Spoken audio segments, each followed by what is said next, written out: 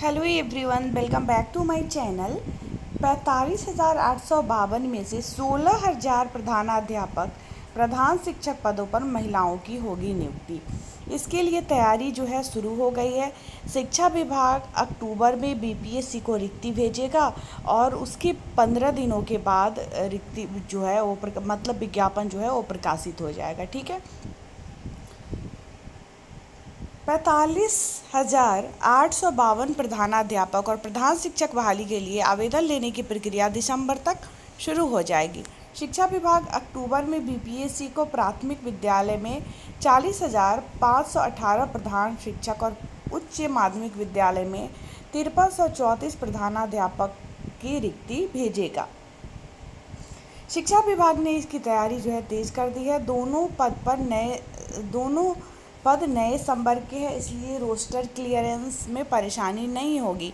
सामान्य प्रशासन विभाग के आरक्षण प्रावधान के अनुसार 35 प्रतिशत महिला प्रधानाध्यापक और प्रधान शिक्षक होंगे। सोलह हज़ार प्रधान शिक्षक एवं प्रधानाध्यापक पद पर महिलाओं की नियुक्ति होगी। अन्य वर्गों के लिए भी आरक्षण का प्रावधान होगा। प्रधान शिक्षक का मूल वेतन तीस हज़ार पाँच सौ रुपये निर्धारित किए गए यानी डी एच आर सहित अन्य भत्ता जोड़कर प्रति माह लगभग पैंतालीस से सैंतालीस हज़ार रुपये जो है इनको मिलेंगे प्रधान शिक्षक को। प्रधानाध्यापक का वेतन पैंतीस हज़ार निर्धारित है। इसमें डीए और एचआर सहित अन्य भत्ता जोड़ने के बाद पचास से बावन हज़ार रुपये प्रति माह इनको मिलेंगे। बीपीएससी के परीक्षा नियंत्रक अमरेंद्र कुमार के अनुसार शिक्षा विभाग से रिक्ति मिलने के 15 से 20 दिनों के अंदर विज्ञापन प्रकाशित कर दी जाएगी।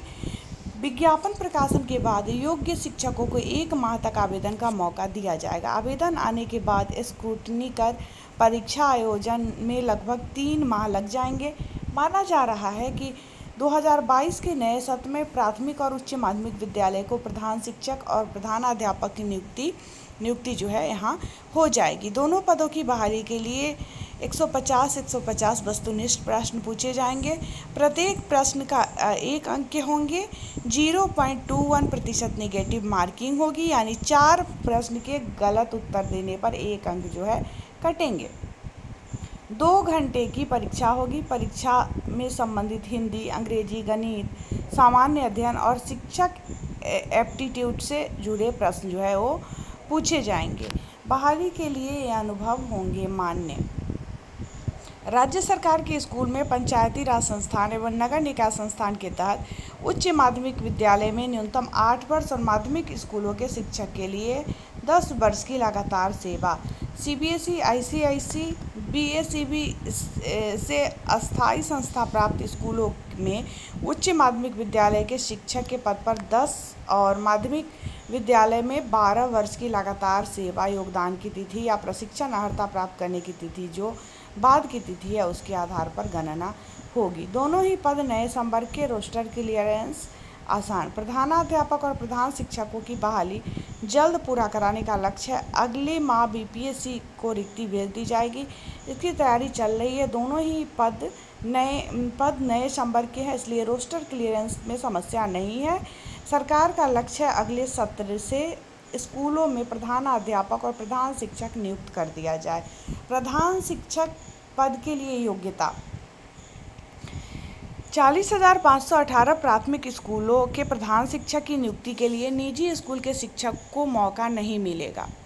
पंचायत या नगर प्रारंभिक शिक्षक के पद पर न्यूनतम आठ साल तक लगातार सेवा कर चुके शिक्षक आवेदन कर सकेंगे।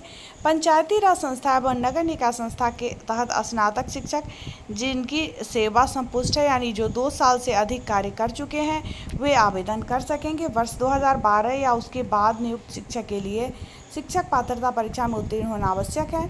मान्यता प्राप्त विश्वविद्यालय से कम से कम 50 प्रतिशत अंकों के साथ स्नातक उत्तीर्ण होना चाहिए और प्रधानाध्यापक की योग्यता न्यूनतम 31 से सैंतालीस वर्ष की आयु शिक्षक प्रधानाध्यापक के लिए आवेदन के पात्र होंगे। सैंतालीस वर्ष के आयु के जो शिक्षक हैं, वो प्रधानाध्यापक पद के लिए पात्र होंगे।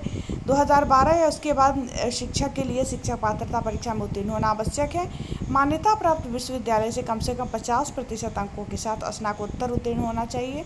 मौलाना मजहरुल हक अरबी या फारसी विश्वविद्यालय राज्य मदरसा शिक्षा बोर्ड द्वारा जारी आलिम की डिग्री और कि इस डीएस की शास्त्री की डिग्री को स्नातक के समतुल्य माना जाएगा।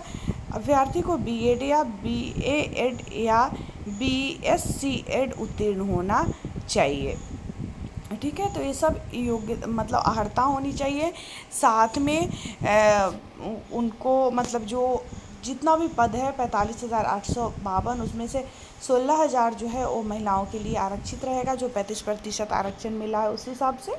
और सारा योग्यता वगैरह हम लोग देख लिए हैं सैलरी भी देख लिए हैं कि कितना सैलरी जो है वो मिलेगा। तो चलिए फ़िलहाल इस वीडियो में इतना ही।